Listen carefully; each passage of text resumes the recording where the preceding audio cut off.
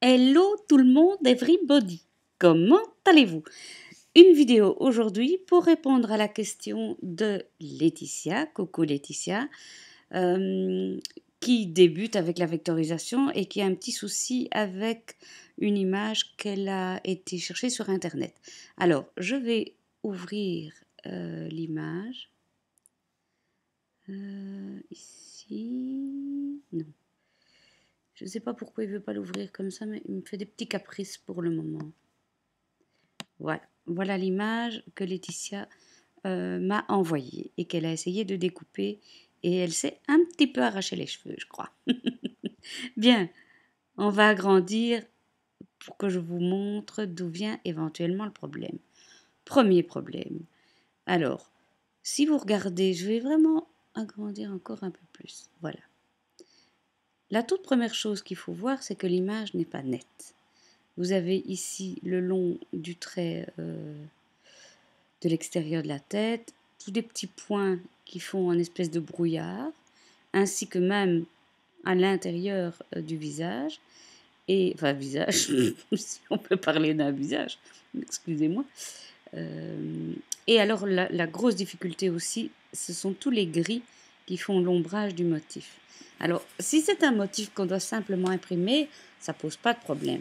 Mais si on demande à la silhouette de trouver des lignes à tracer là-dedans, elle va avoir du mal, d'autant que par exemple ici, vous voyez les petits points en dessous des yeux euh, sont gris, ils sont pas noirs.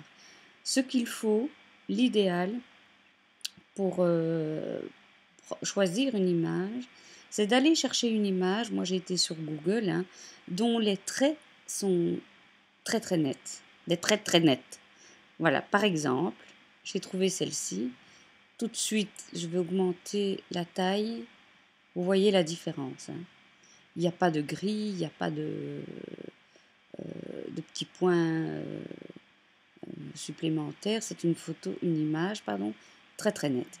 Mais je vais quand même revenir euh, sur notre première image pour vous montrer ben, tout ce qu'on rencontre toutes quand on essaye de vectoriser. Et je pense que ça va en rassurer beaucoup. Alors, et c'est comme ça qu'on apprend. Hein. Donc, ce qu'on va faire maintenant, c'est qu'on va définir la zone de tracé. Donc, je répète un petit peu ce qu'on connaît déjà, mais pour celles qui débarquent, ben voilà, c'est pas plus mal. Donc, vous sélectionnez la zone de tracé. Et alors là, vous faites tracer et détacher. Avant, je ne le faisais pas, maintenant, je le fais chaque fois parce que ça va nous éviter de travailler avec tous les petits parasites qui sont sur le côté et dont on n'a pas besoin. Euh, tracer détacher, oui. Alors, il faut savoir que ça prend du temps. Voilà, vous voyez, ça apparaît seulement maintenant. Donc, je vais prendre ma forme et la voilà. Elle est détachée du reste. Alors, le reste, eh bien, je sélectionne tout. Enfin, j'essaye de tout sélectionner. Ah, bon, ça fait rien.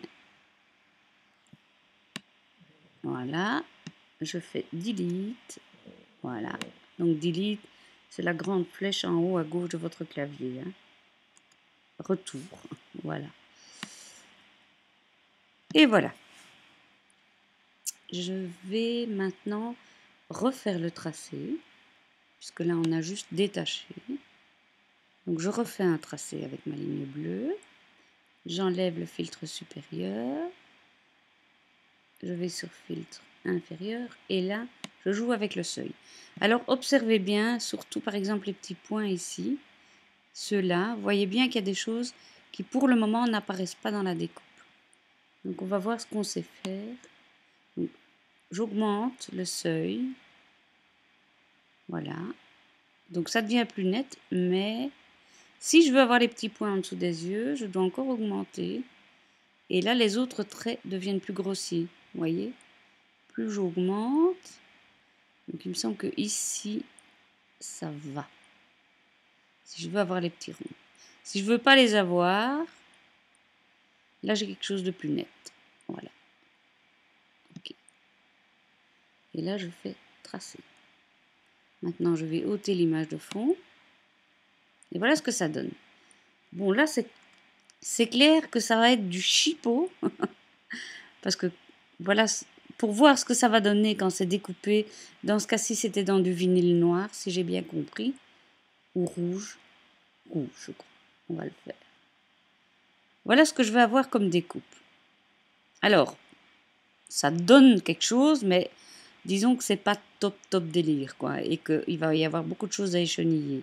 Écheniller, ça veut dire avec un crochet, enlever tous les petits bouts de vinyle dont on n'a pas besoin.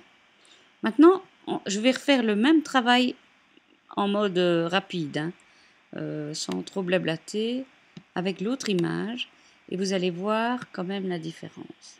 On y va, c'est parti mon kiki.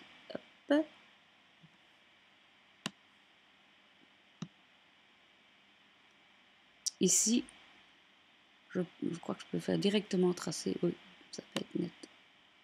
Voilà.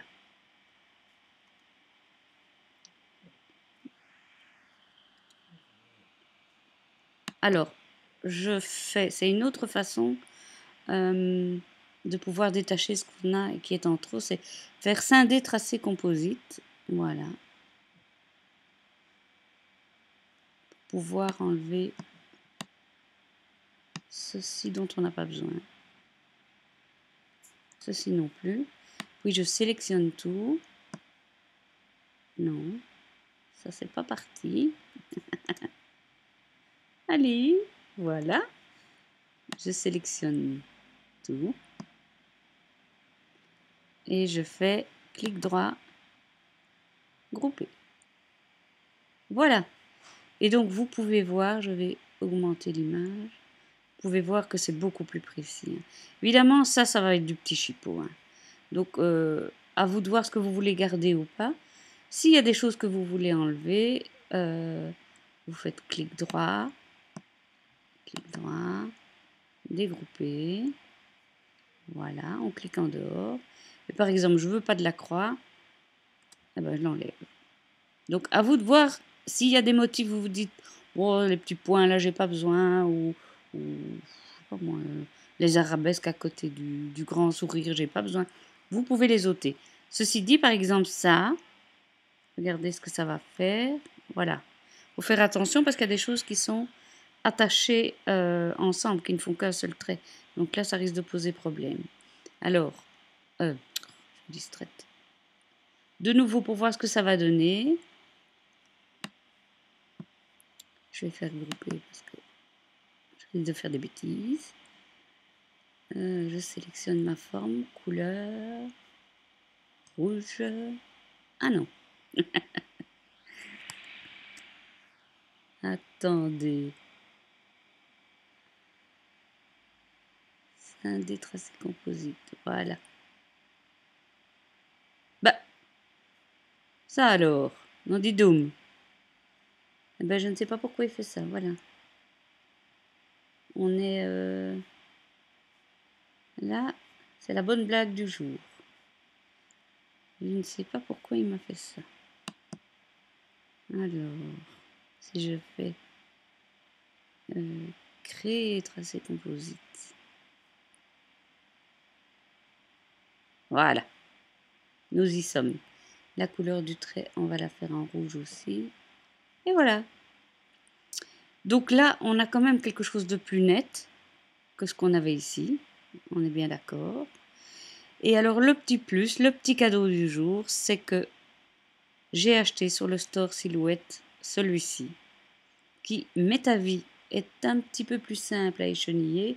Bon, c'est clair que euh, on n'a pas la même euh, densité que celui-là, c'est pas aussi comique comique, mais disons que comme je l'ai acheté sur le store Silhouette, faut, faut se dire qu'il est vraiment fait pour ça et qu'il a déjà été testé en découpage. Alors, je vous montre, il y en a d'autres. Hein. Il y a celui-ci. S'il veut bien... J'ai vraiment un problème avec mon... Voilà.